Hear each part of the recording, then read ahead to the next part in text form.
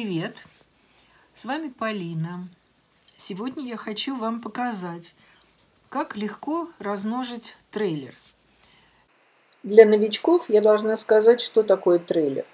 Это фиалочки, которые дают пасынков и растут кустиками. И трейлеры бывают разных видов. Я дам ссылочку а, в описании, и вы сможете подробнее посмотреть, что это такое. Это у меня мини-трейлер. Называется Kiss Away. Вот название. И какие нюансы при размножении мини-трейлера? В этом случае, вот у меня, эту фиалочку даже не нужно вытаскивать из горшка. Как вы видите, этот пасынок, он растет в сторонку – и у него своя шейка есть. И мы просто отделим эту шейку пасынка от шейки основного растения. Что я еще хотела вам показать здесь, прежде чем я это буду делать? Здесь есть много э, старых листиков. Вы видите, они потеряли цвет, и их нужно убрать. Они уже никуда не годятся. И так как это вот крошечка такая, хаврошечка, то туда лучше пальцами не лезть, а заниматься э, всеми вот этими измен... ну, обработкой, убиранием листьев, удалением, все только пинцетом. Иначе очень легко сломать просто этот, эту фиалку и все. Вот. И что я теперь буду делать? Вот эту шейку можно просто удалить. Вот сейчас я вам покажу. Вот так. Вот. И все. Но новичкам я бы этого не советовала делать, потому что можно сломать основной ствол и в общем, здесь наделать делов, как говорится. Поэтому лучше вытащить. Но я хотела все-таки показать, что так тоже можно делать. Теперь что с этой деткой, с этим пасынком делать? Ну, во-первых, нужно будет удалить вот эти листочки старые. Старые и ювенильные. Вот посмотрите, вот те, которые совсем крошечные я удаляю. Вот. Вот. И освобождаю стволик. И вот эти самые нижние я тоже должна удалить, чтобы освободить стволик, чтобы было легче сажать эту крошку. Это быстро растущий сорт. Как вы видите, здесь уже даже на этом э, пасынке уже еще пасынок образуется. То есть это будет очень легко размножить. И уже есть вот такая вот шейка, с которой легко будет ее посадить, эту фиалочку. Ну, в смысле, деточку я уже называю. Теперь что делать с материнским растением? Ну, нужно, опять же, убрать все листики, которые потеряли свой цвет. Они только портят вид, они уже не нужны. Вот так и так. Здесь очень много пасынков подрастает. Так, этот вот сухой я просто ухватила. Очень много пасынков подрастает, как вы видите. Вот, посмотрите. Но они еще совершенно не готовы к отсадке. Пасынок должен быть э, таким, чтобы его было легко посадить. То есть, чтобы у него была шейка. Я уж не говорю корни, но шейка должна быть обязательно. Тогда корни будут нарастать на шейке. А если ее нет, то где же они будут нарастать-то? На чем? Вот, поэтому вот так вот нужно делать. И что нужно делать с этой теперь розеточкой? А ее нужно будет вытащить и обязательно углубить. И проверить, чтобы вот эти вот пенечки от листьев, которые я удалила, чтобы там этого ничего не было. И вы не бойтесь, пожалуйста, работать, как я всегда говорю.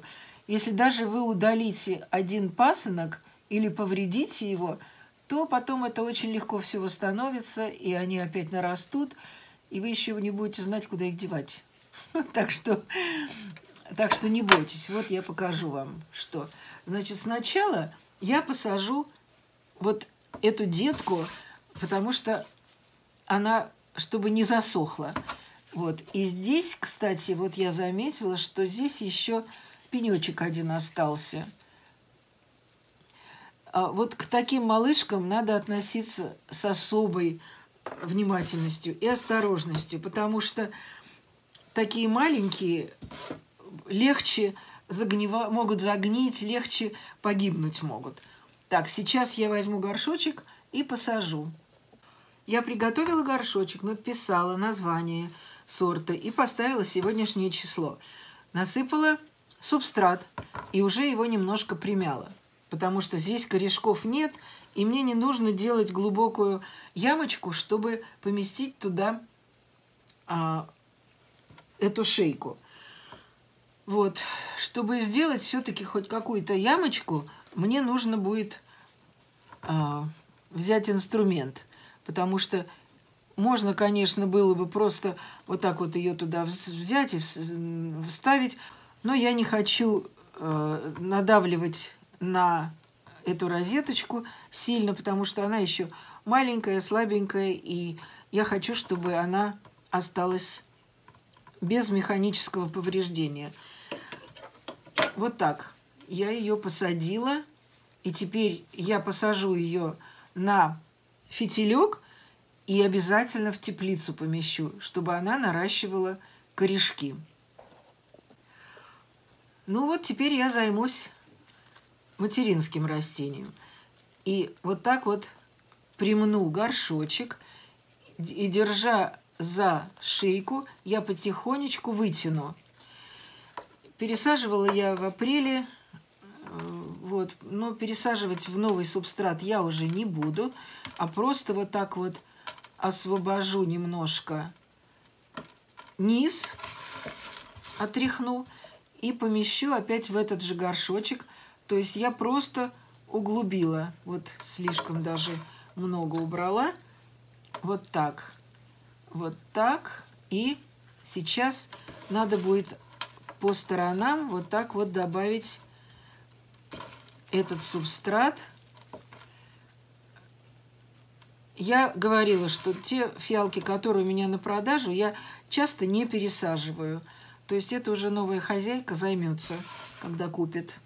Так что вот так вот. И все. Я сделала все, что нужно. Я, можно сказать, поухаживала, чтобы она кривая не выросла. С, с длинной шейкой она могла бы искривиться, эта шейка, и потом уже ничем не выправить. Вот так. Ой. Вот так. Вот хорошенькая получилась деточка. Ой, не деточка, фиалочка. Потому что она такая маленькая, я ее называю деточкой. Но это не деточка, это э, еще не взрослое растение, но уже как бы и не стартер даже, а просто молодая фиалка. Вот что получилось. Меня спрашивали, чем я очищаю фиалки после пересадки. Ну, так, во-первых, нужно добавить здесь еще немножко вот с этой стороны, вот так, чтобы фиалка стояла ровно и устойчиво. Вот. И сейчас я вам покажу. Вот у меня есть вот такая вот косметическая э, кисточка. И я не буду сейчас ждать, но нужно немножко подождать, чтобы э, сырой, чтобы влажный вот этот субстрат подсох, он тогда легче будет сходить. Вот, и я вот так вот придержу немножко, и вот даже сейчас он сходит, видите? Вот так вот я отряхиваю фиалочки после посадки от субстрата, который попадает на листочки. Вы видите, какая она стала, просто чистенькая. И, и мыть ее не надо. Я уже говорила, что я никогда не мою свои фиалки. Что это еще за мытье душ? Никогда. Так, ну вот, сейчас я покрасивее здесь делаю, чтобы чисто было. А вот так. Вот что у меня получилось. Теперь я вам еще хочу сказать, что вот здесь вот эти пасынки, которые растут, они, как я говорила, растут очень быстро. Поэтому как только я увижу, что они достигли вот такого размера примерно, я их буду отделять. Может быть, мне придется вытаскивать эту розеточку из горшка, а может быть, я и так смогу отделить, так же, как и эту. Потому что этот сорт растет вот такими вот, э, пасынки растут на шейках. Они не сидят на стволе или в пазухах этого э, материнского растения. Вот и все. Как вы видите, это все было очень легко и очень даже и быстро. А теперь я с вами попрощаюсь до следующего видео и пожелаю вам, как всегда, всего самого-самого хорошего. Будьте живы-здоровы. Надеюсь, вам видео понравилось и поможет вам в уходе за фиалочками. Заходите ко мне в гости, и чтобы нам всем всегда было до наших любимых цветов. Всего хорошего еще раз. Пока-пока. А сейчас я хочу показать вот эти фотографии а, этого сорта, первое цветение, которое было у другой розеточки, не у этой. Необыкновенно нежные, розовые, голубые такие а, цветочки, не крупные, но цветет этот сорт очень обильно и красиво. Надеюсь, вам это все понравилось и поможет вам в уходе, как я уже говорила. Спасибо, что досмотрели до конца. Пока-пока.